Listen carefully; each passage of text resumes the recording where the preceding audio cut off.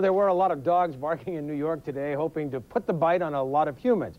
Well, maybe just a small bite on their wallets. And it was all for a good, four-legged cause, as CNN's Jeanne Moos reports. What dog doesn't like to go for a walk?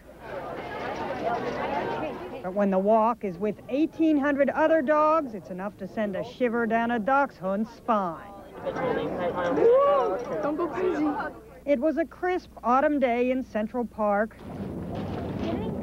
The kind of day when fall foliage gets stuck on your ears, when romance is in the air, and a bulldog's breath is in your face. The kind of day when opposites attract, and you never know where a sniff will lead. With 1,800 dogs mingling in the park, there were plenty of barks. It felt a little like Noah's Ark. There seemed to be two or more of everything. And dogs weren't the only species to come in pairs. What's your dog's name? Squire. They're pulling my oh!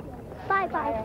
All these owners showed up to raise money for the ASPCA. The dogs tended to be average, not show-offs, though many an owner tried. Duffy, smile. This being New York, there were plenty of fashion victims, dogs who fell victim to an owner's fashion dictum.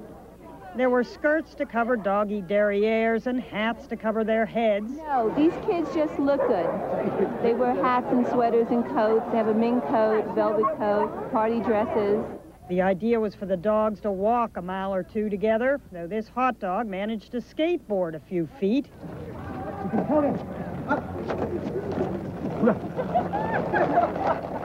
And there was at least one happy ending. Two dogs who met, frolicked together, and then their owners discovered They were born on the same day and they came from the same kennel. So they're sisters, you're true. They're sisters, and they've been playing since they found each other this morning.